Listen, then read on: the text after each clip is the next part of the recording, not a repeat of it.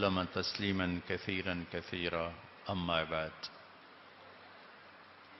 میرے محترم بھائیوں دوستوں اور بزرگوں اللہ تعالیٰ نے اس امت کو چنا ہے تمام اقوام عالم میں سے. ہوج تباکم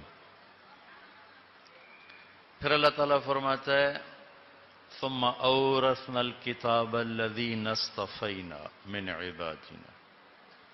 پھر اللہ تعالیٰ فرماتا ہے، کنتم خیر امت یہ تین لفظ اس امت کے لیے استعمال ہوئے اور یہ تینوں لفظ اللہ نے انبیاء کے لیے استعمال فرمائے ہیں۔ موسیٰ علیہ السلام سے اللہ نے فرمایا وَأَنَخْتَرْتُكْ فَاسْتَمِعْ لِمَا يُوحَى اور کنتم خیر امت یہ آپس میں جڑ جاتے اللہ یستفی من الملائکت رسول ومن الناس، ان استفیتوک علی الناس برسالاتی و بکلامی۔ اللہ نے استفاء کا لفظ استعمال کیا انبیاء کے لیے، پھر اس امت کے لیے۔ وَكَذَلِكَ يَشْتَبِيكَ رَبُّكَ وَيُعَلِّمُكَ مِن تَعْوِيلِ الْأَحَادِيثِ. اللہ نے یہ لفظ یوسف علیہ السلام کے لیے استعمال کیا ہے.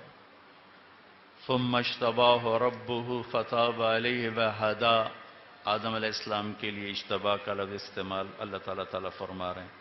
اجتباہ وحداہ الى صراط مستقیم ابراہیم علیہ السلام کے لیے اجتباہ کا لفظ استعمال فرما رہے ہیں. اخترتک، خیر۔ کسی اپنی پسند کی چیز کو چننا، اس کے لیے اختار۔ خیر امتن، اللہ بتا رہا ہے کہ پسندیدہ ہو۔ خالص چیز کو چننے کے لیے اختار نہیں، استفا۔ صفوت صفوہ ابن و جوزی کی کتاب بھی ہے صفت و صفہ اور صفوت تفاصیر ایک نئی تفسیر ہے۔ تو خالص چیز کے چناؤ کے لیے استفا اللہ تعالیٰ نے کہا، ثم اورثنا الكتاب الذي نصطفينا من عبادنا۔ ہم نے بھی آدم کی نسل میں جو خالص لوگ تھے نا، ان کو ہم نے چنا۔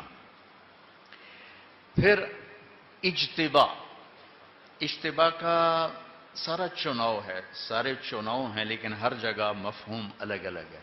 اختارا، جو چیز پسند آئے، اس اس کا چناؤ۔ استفا، خالص چیز کا چناؤ۔ اجتبا کیا ہے؟ کسی کام کے لیے چناؤ۔ وہ خالص ہے، نہ خالص ہے، یہ نہیں۔ مجھے ڈرائیور چاہیے۔ تو میں اس کے لیے ایم اے بی اے نہیں دیکھتا ہوں۔ میں دیکھتا ہوں، ڈرائیونگ اچھی جانتا ہے۔ بس ٹھیک۔ ہے یہ ہے اجتبا اجتبا اللہ نے جو تین لفظ انبیاء کے لیے استعمال فرمائے، وہ تین لفظ اللہ نے اس امت کے لیے بھی استعمال فرمائے۔ اور اللہ نے ان کو تمام ام، ایک حدیث یاد ہے۔ موسیٰ علیہ السلام نے پوچھا، یا اللہ حل من الامم افضل علیک من امتی؟ ظللت علیہم الغمم؟ وانزلت علیہم المن والسلوہ یا اللہ، میری امت سے کوئی اچھی امت بھی تو نے بنائی ہے؟ تو نے میری امت کو من و سلوہ کھلایا، بادلوں کا سایہ عطا فرمایا۔ تو اللہ تعالیٰ نے فرمایا، یا موسیٰ، اما تدری ان فضل امت احمد علی سائر الامم کا فضلی علی خلقی؟ اے موسیٰ، آپ کو میں بتانا چاہتا ہوں کہ میرے آخری نبی کی امت کو تمام امتوں پر وہ عزت حاصل ہے جو مجھے اپنی مخلوقات پہ حاصل ہے۔